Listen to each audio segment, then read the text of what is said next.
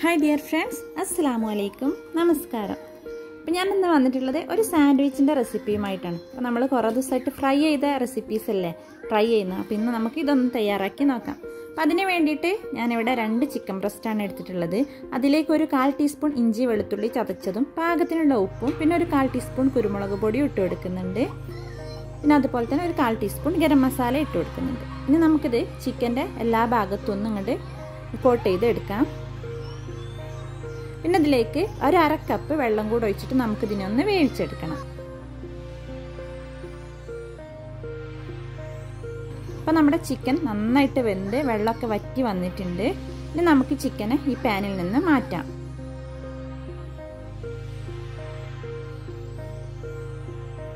ഇനി ഇതേ സെയിം പാനിലേക്ക് തന്നെ ഒരു ടേബിൾ സ്പൂൺ ഓയിൽ ഒഴിച്ചു കൊടുക്കുന്നുണ്ട്.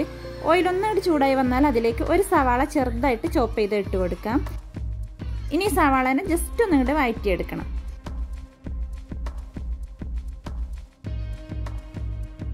ഇനി അതിലേക്ക് രണ്ട് വെളുത്തുള്ളി ചെറുതായിട്ട് ചോപ്പ് ചെയ്ത് ഇട്ട് കൊടുക്കാം. പിന്നെ ഒരു ക്യാപ്സിക്കം ചെറുതായിട്ട് ചോപ്പ് ചെയ്തതും അതിന്റെ കൂടെ തന്നെ ഇട്ട് കൊടുക്കണം. പിന്നെ നമ്മൾ മഷ്റൂം ഒക്കെ ഇതിൽ ചേർക്കുന്നുണ്ടെങ്കിൽ ഈ സമയത്ത് കുറച്ച് മഷ്റൂം ചോപ്പ് ചെയ്തിട്ട് അത് ഇട്ട് കൊടുക്കാം. എന്നിട്ട് നന്നായിട്ടൊന്ന് വഴറ്റിയെടുക്കാം അപ്പോൾ ഞാനിവിടെ മഷ്റൂമിന് പകരം സ്വീറ്റ് ആണ് ചേർത്തിട്ടുള്ളത്. ഒരു കാൽ കപ്പ് സ്വീറ്റ് കോൺ ഇതിലേക്ക് ചേർത്ത് കൊടുക്കുന്നുണ്ട്.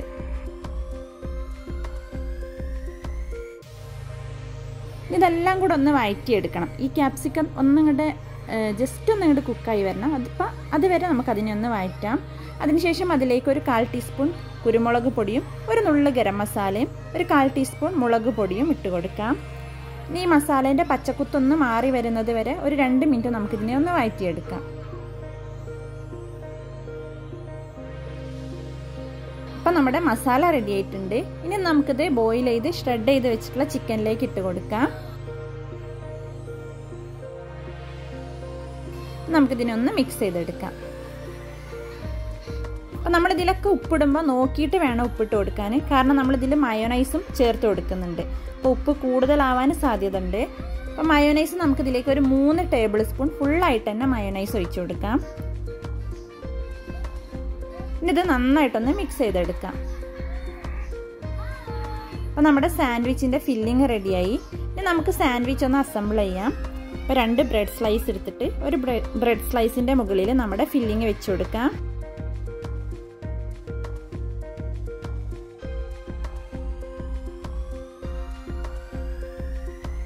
ഇനി നമുക്കിതിനെ വേറൊരു ബ്രെഡ് കൊണ്ടൊന്ന് കവർ ചെയ്തെടുക്കാം. ഇനി ഇതിന്റെ മുകളിൽ നമുക്ക് കുറച്ച് ബട്ടർ ഒന്ന് സ്പ്രെഡ് ചെയ്ത് കൊടുക്കണം.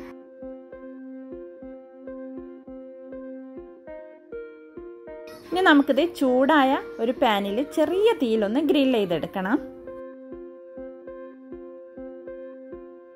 ഇപ്പോൾ ഒരു ഭാഗം ഇങ്ങനെ ഗോൾഡൻ ബ്രൗൺ കളറായി തുടങ്ങുമ്പോൾ നമുക്ക് ഇതിന്റെ മുകളിൽ കുറച്ചും കൂടെ ബട്ടർ ഒന്ന് സ്പ്രെഡ് ചെയ്തിട്ട് നമുക്കിതിനെ തിരിച്ചൊന്ന് വെച്ച് കൊടുക്കണം.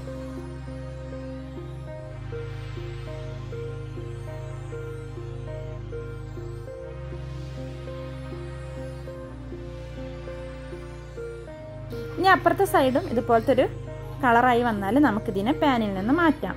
അപ്പോൾ നമ്മൾ ഗ്രില്ല് ചെയ്യുമ്പോൾ ചെറിയ തീയിലിട്ടിട്ട് വേണം കേട്ടോ ഗ്രില്ല് ചെയ്തെടുക്കാൻ. അപ്പോഴാണ് നമുക്ക് സാൻഡ്വിച്ചിന് നല്ലൊരു ടേസ്റ്റ് കിട്ടുള്ളൂ. പിന്നെ നമുക്കിതിനെ ട്രയാങ്കിൾ രീതിയിൽ കട്ട് ചെയ്തെടുക്കാം. അപ്പോൾ നമുക്ക് ഈസി ആൻഡ് ടേസ്റ്റി ആയിട്ടുള്ള നമ്മുടെ ചിക്കൻ സാൻഡ്വിച്ച് റെഡി ആയിട്ടുണ്ട്. അപ്പോൾ എല്ലാവരും ഒന്ന് ട്രൈ ചെയ്ത് നോക്കിയിട്ട് ഫീഡ്ബാക്ക് ഒക്കെ ഒന്ന് സെൻഡ് ചെയ്ത് തരണം.